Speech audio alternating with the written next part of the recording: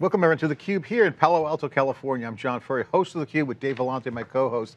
We're here for the Silicon Valley AI Infrastructure Leaders Program, part of theCUBE, plus NYSE Wired Communities. Alex Gallego's here, founder and CEO of Redpanda Data. Alex, great to see you, thanks for coming in. Thank you for having me. So this is a series about infrastructure and hardware, it's changing, a lot of action going on there. When this is, it's moving very fast, um, and the next layer is data. Mm -hmm. That's going to flip and that's going to change too. So right now all the performance is in the hardware, but there's a lot of going on in between hardware and data, it's what you guys do. Take a minute to explain what you guys do, your mission, why you were founded, and where you guys are at. I would start with um, my thoughts on the future of infrastructure, and I'll start by saying that the future is not going to be built in batch, it's going to be built in real time.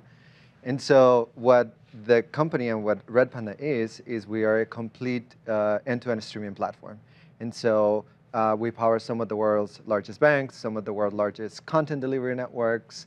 Uh, and so some of our customers are companies like Akamai, the largest ISP in Europe, you know, large electric car companies and so on. Those tend to be our customers. And I think there's really two major trends for that.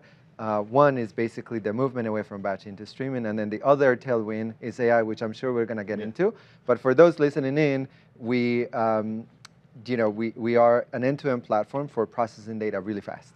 And that's what people want. Real time is what all the apps want. Now, generative AI now is a category, as Jensen Huang and Visa. it's a new category. It's generative, it's not programmed it's kind of runtime in a way. So data is important, but the infrastructure is going to deliver as well. What's your feeling around that trend and how is that changing how people look at their enterprise? I think our view is a little bit contrarian to the common wisdom today. And so um, the insight here is that the world wants to uh, build this transformative user experiences with Gen AI, but they don't want to share their data uh, with, with model companies, right? So with like OpenAI or Anthropic or Mistral, it's just too sensitive, at least for the enterprise and for the customers that, that we, we get to talk to. Uh, two, they don't, they don't trust the execution. You're like, okay, well, what, like, what output, like how, how did we get here? What is the trace? What is the source data that generated that? Um, and three, they don't really know how to protect it well, right? And so the, the idea that the world is going to be about sending data to the model I don't think that's the future for the enterprise. I think the inverse is going to be true, where you can send the model to the data. And so that, that's our view on it, especially as you think about building these real-time interactive experiences, right? It would be um, absurd to think that uh, your credit card would allow a Nigerian prince transaction to buy an Apple computer. Like you just don't even expect that to be a case anymore. You want to transact and you expect that to be marked as fraud, like right there at the time of transaction with the point of sales. And so that's how we see uh, AI, especially for streaming, is the model being shipped to the data. Beyond cost efficiency, it's actually about the sovereignty and the governance of like, okay, well, what has access to what model? How do we trace it and how do we protect it? But you can just, I mean, today you can, you can pretty much detect that fraud in, in real time. Very narrow use case, you got the historical analytic systems that might have been bad, but then you've got that model that's right there today. But you're talking about, I think, much more sophisticated, intelligent data app, supporting intelligent mm -hmm. data applications, sort of this new breed. Is that, is that right? And can you sort of give us a sense as to what those look like? Yeah, so I think that the, uh, the classic, if, if we go with the fraud detection use case as an yep. example. Fraud detection, as I explained it with a credit card fraud, mm -hmm. is relatively easy because the signals are well defined. Well, if you live in San Francisco and you're getting a transaction from a different geolocation, like soup, right? The signals are rather yep. uh, easy. This is really difficult for other domains. Mm -hmm. And so that was sort of a, uh, a proxy of example. But in gaming, as an example, with some, so we power some of the world's largest gaming engines, right? And there is this really difficult problem that they solve, which is the idea of exploiting and selling the loot of games, right? And so you have mm -hmm. these uh, bots that go and farm the games, and then they have to go and try and back and sell the loot back to other players. And so that is much more complicated. It's a, it's a much more dynamic system with, and so the idea of marketing, hey, is this a bot? Is this a real player? Do we need to flag this as fraud? That actually cost them millions and millions and millions of dollars.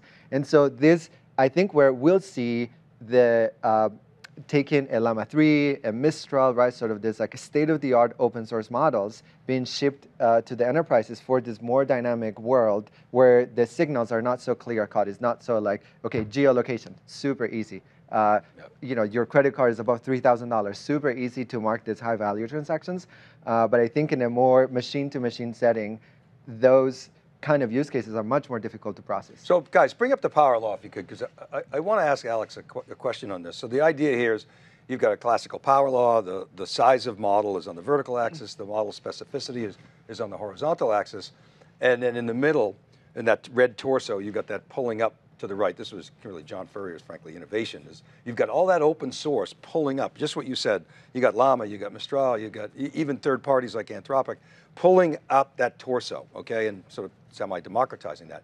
My question is, when you think about the sovereign AI, which would be on that long tail, Yes. we've kind of implied that it's smaller models, but maybe that's not necessarily the case. Maybe there's some big honking models on that. That's why there's a little hump up in the, Yeah. in the curve. but I'm wondering what you're seeing. Uh, you're probably seeing a, a lot of action on small language models, but, but are you also seeing some rather large language models being applied in that domain specificity? Yeah, definitely. I so it's it's it's a it's a set of trade-offs, right? And I think the way that the CTOs are thinking through this is latency. How fast am I going to get a response from it? And so the larger models uh, are slower. And so the only two techniques is you go lower in terms of the size of the parameter input, and then the only other technique is the quantization, right? And so you can take like a very high fidelity model, 32-bit floating point into let's say 8-bit floating point. And so that those are the main two techniques today to be able to give like super fast response. Blackwell. Yeah, exactly. And so so that's one. Um, I think you know just as a side note, which I think is just as important, is that there is no real breakout model today. Llama 405 billion is roughly in the same category as, as OpenAI GPT-4o and Claude, you know, Sonnet 3.5 by Anthropic. And so I think those those are like real the real pull for the enterprise. They're like, hey, maybe I would incur the risk of sending my data to these foundation models if those models would be an order of magnitude better. But they aren't right now in the enterprise. And so what we're seeing is a bunch of innovation actually pulling up, like you mentioned, the, the belly of, of, of the models in that you, and you know, a Llama uh, s- a 3.17 billion parameter model, when you fine tune it, you get a state of the art performance with not a lot of hardware, right? We're talking about 16 gigabytes of, of, of GPU. And just hardware is so damn good today. Yeah. Like, you know, I think you can really push this to the edge, and, and that's what we're seeing. And the enterprise see data as proprietary asset, intellectual property.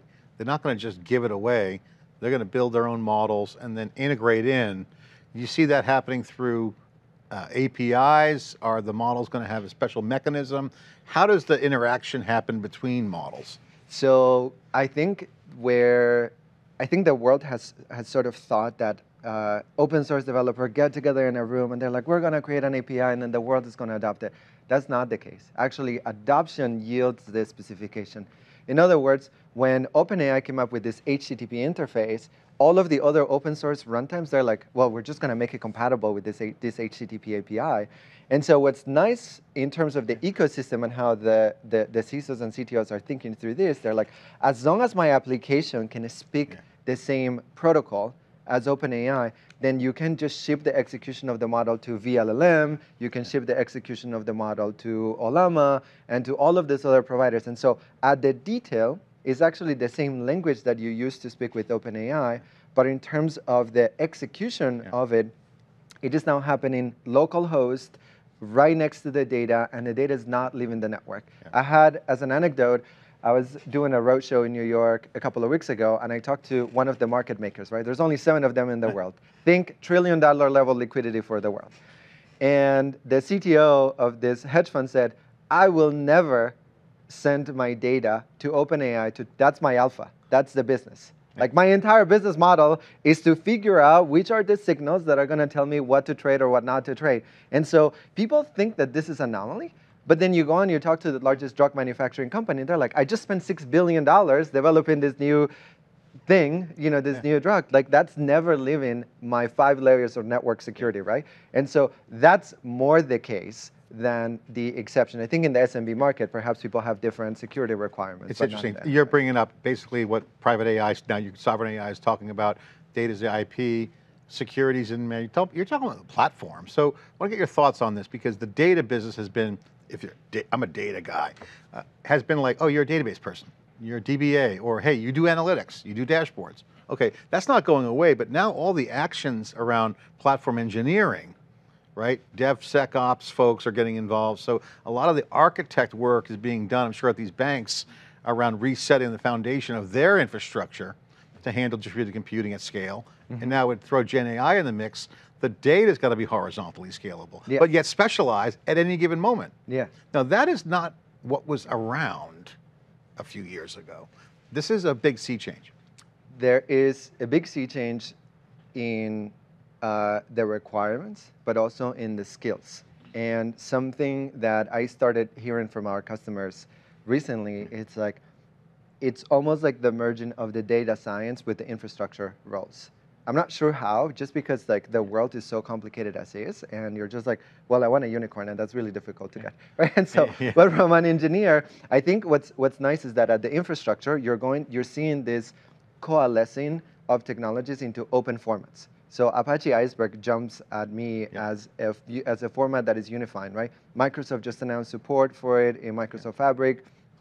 Databricks just spent a couple billion dollars on acquire a company that was, you know, designed about uh, Apache Iceberg support. Uh, Snowflake's Snowflake. embracing it. Yeah, Yeah. so sort of the world. one, it's one. Iceberg is one, the open table format. So let's I- agree. Exactly, and so I think. Moody's like spe- very specialized. Yeah, and, and even Delta is, Delta, is Iceberg. We agree. Yeah. yeah, Got the function. It's a, the, the, that's they, they looks like they're going to win that. uh, Yeah, right? exactly. Yeah. And it may, you know, I, I think I, I spoke with one of the founders of the internet uh, uh, a few years ago, and he's like, it wasn't that TCP was necessarily the best protocol. It was just the the the most well adopted protocol, and that's what made the world work. I think similarly would be with Iceberg.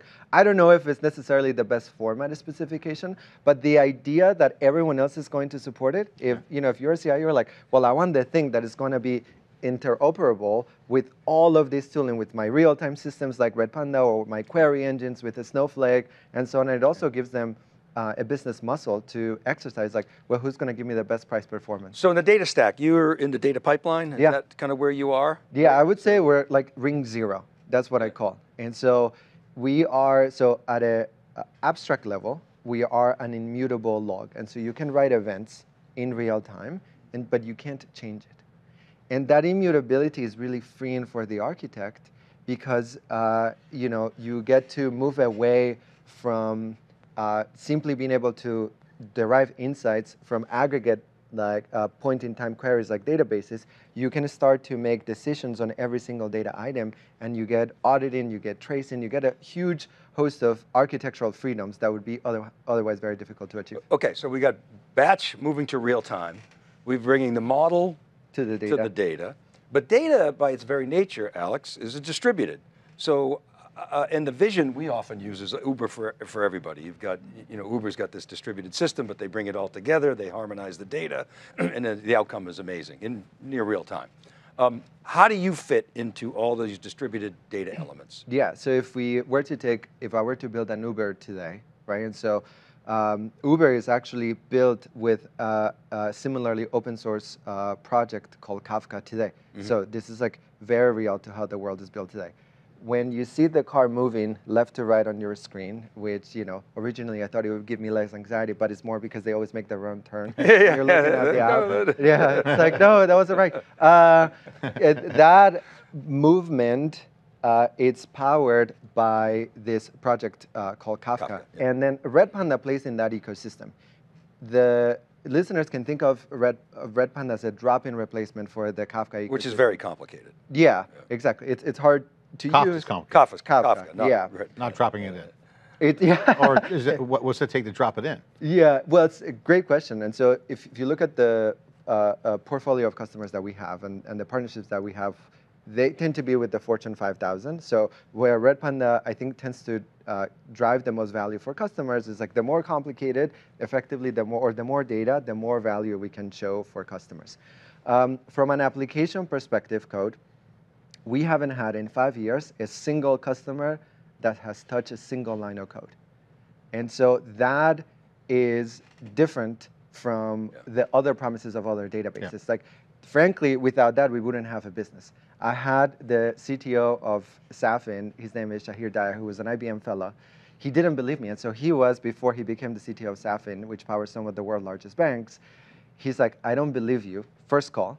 Uh, second call is like, I want everyone to turn off uh, you, the, the Kafka computers because they're like, the apps must be configured incorrectly. And then he ran the same workload, and his mind was just Blown. blown. and he's now one of our best advocates. It's just like, um, and so to date, no one has had to touch a single line of code.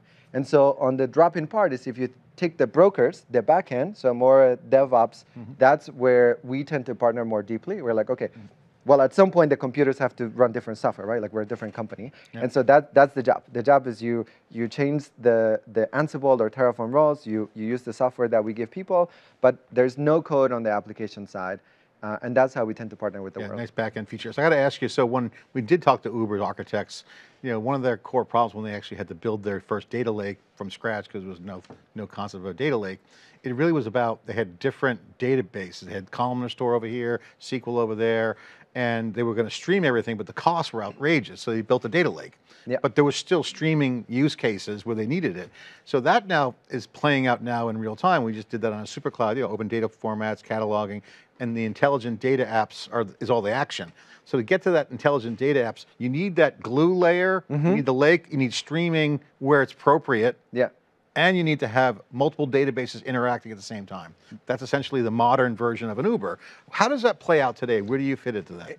You forgot transactions, but we'll add that in too. Okay, a spanner in there too, right? Yeah, Yeah. Pretty well, a lot of databases. Pretty Uh, complicated future, but yeah. but powerful. Yeah, exactly. It's. Uh, I think there isn't a better time to be alive in infrastructure engineering. To be honest, today, the, the things that we could do today, you know, whatever 20 years ago would be unimaginable. And so, to talk about the evolution, I think mentally, developers have changed how they reason about streaming. So streaming classically has been about this buffer. Like my database can handle the load. This thing that's is simpler because it doesn't have multi-level indexes and that kind of stuff that databases have. And so I'm going to buffer the data so that it doesn't crash the database or Yeah. it doesn't materialize into the columnar data and so on. Well, with the rise of these hypercloud, high bandwidth object storage systems like S3 or GCS or Azure Blob Store, you can size your cluster as a function of your SLAs. What is the latency and what is the throughput? But the bulk of the data is stored in, in tiered storage format. That's the main shift in architecture. And in fact, that's one of the main reasons why people pay us money is that this, the footprint, the hardware footprint that people have to have in their infrastructure is tiny relative to the amount of data that you have to store.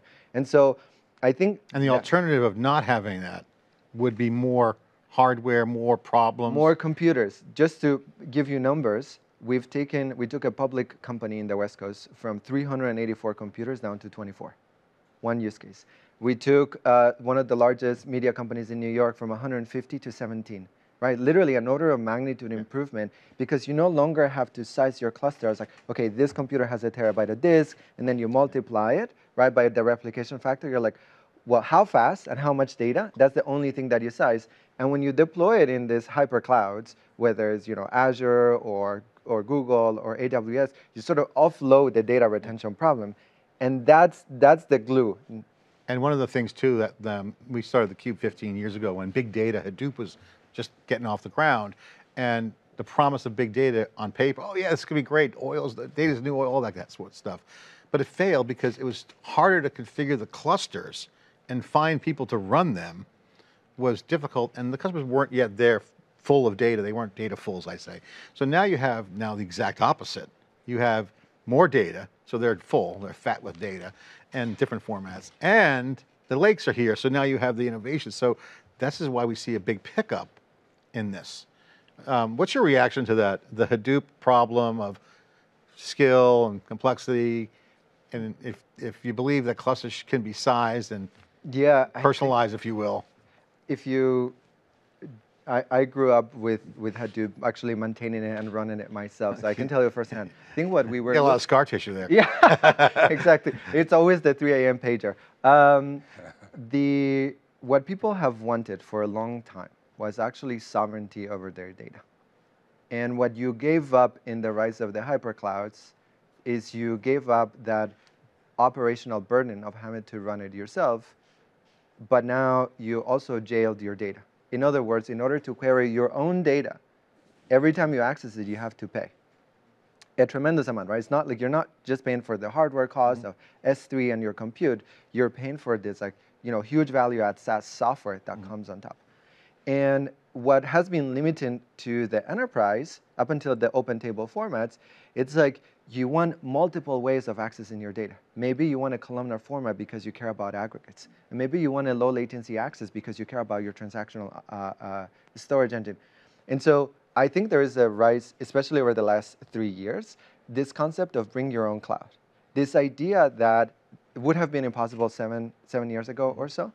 This idea that um, you can offer a fully managed cloud in using someone else's uh, account ID, right? So if you think about the way you architect software for cloud, it's, it's just like, it's a different integer ID. You're like, but the software remains the same. When Yeah. you say Terraform deploy, It's just the hardware. yeah, exactly. and it's just the cloud API. Like Amazon you- will kill me for saying it.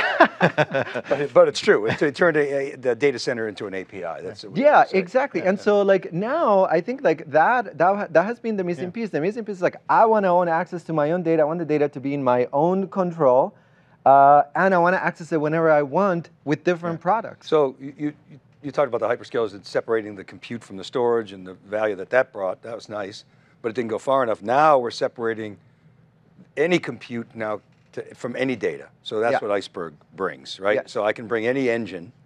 Your point about any cloud, basically any engine, Trino, Starburst, Snowflake, Databricks, doesn't matter, to my data because I'm controlling that data. The problem is governance. right? Yes. How do I govern that data? Right, because I've got technical data, metadata, what's the columns and rows, and then I've got business and operational metadata, and role-based access control, and so it's like that governance layer is becoming like security. right? It's a Exactly. mess. So, what are you seeing there? H- how do you guys, um, you know, fit in through that maze? I think products will be forced to integrate into open catalogs.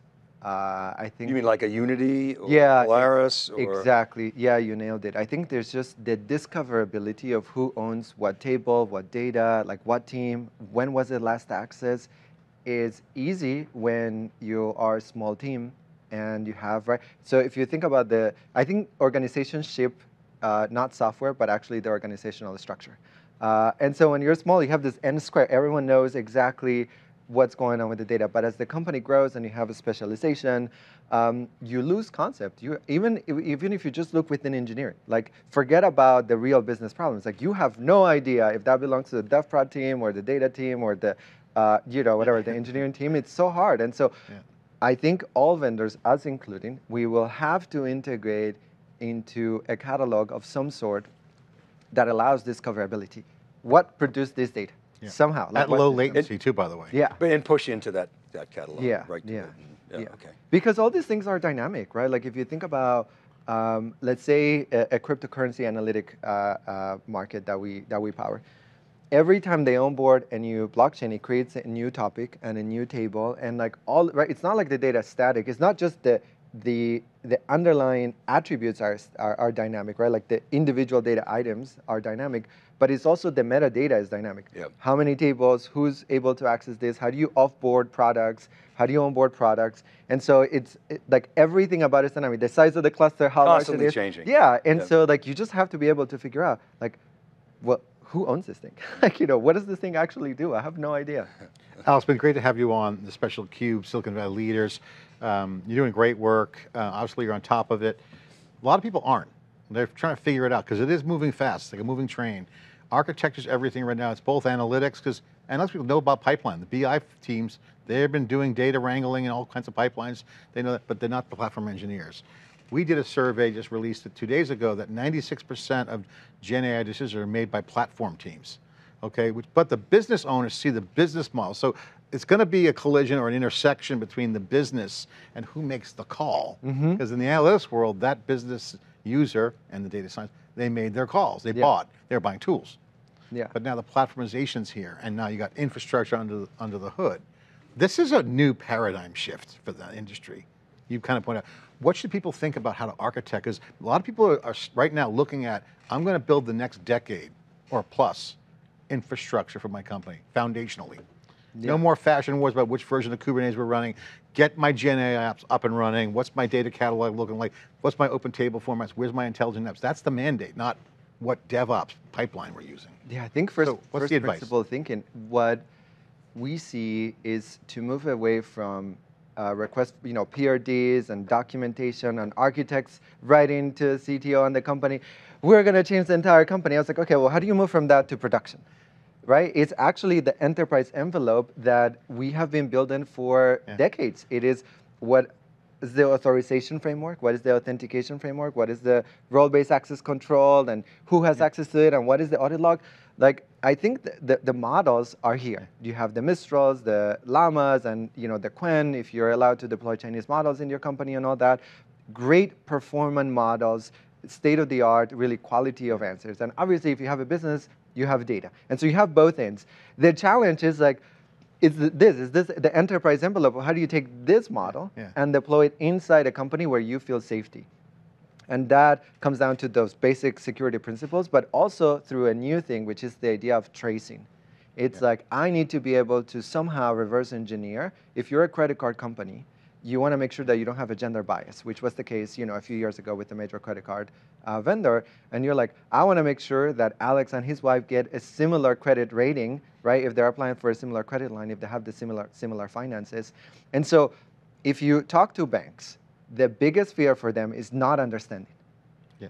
what how how did we arrive at a bad you know whatever credit line approval because you happen to The be a model different decided. yeah exactly You can't have a black box. Yes. You need to have explainability, and then you know we were calling it data supply chain. We sell that in software supply chain, not just lineage, but like where did this come from?